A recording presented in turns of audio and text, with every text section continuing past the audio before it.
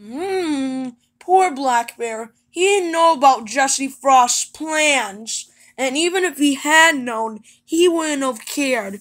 For all his thoughts were about his beloved, still silent Santa Bear. Aw, oh, gee, Santa Bear, I don't care if you're not all living. Black Bear reached up and blew a kiss to his son. And suddenly, as the wintry stars twinkled down, Black Bear's kiss of love, that simple kiss worked an icy miracle. Happy birthday, Santa Bear. I've been waiting all day. What kept you?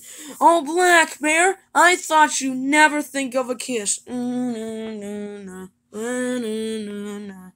There never were two happier stuffed bears. Hey everybody, we're gonna have a child anniversary. A child anniversary. Black Bear and Santa Bear. We're a happy, jolly team.